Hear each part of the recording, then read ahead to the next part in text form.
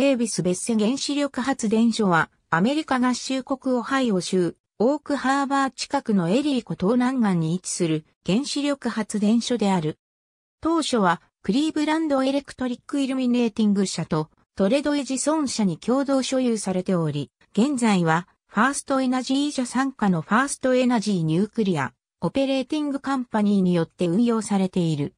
発電所の名称は、デ社のジョン・デイビス元会長と CEI 社のラルフ・ベッセ元会長にちなんだものである。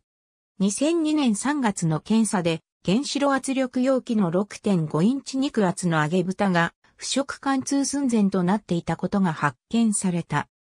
ノズルの割れによって漏れ出した一時冷却水中の放散による腐食で圧力容器の表面20から30平方インチの炭素鋼部分が失われ、クラット材のステンレス鋼のみが残っている状態であった。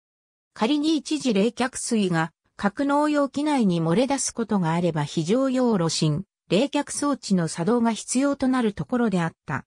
本事象は2005年に NRC によって原子力災害に至る可能性のある事象の第10位に位置するとされた。国際原子力事象評価尺度はレベル3。ありがとうございます。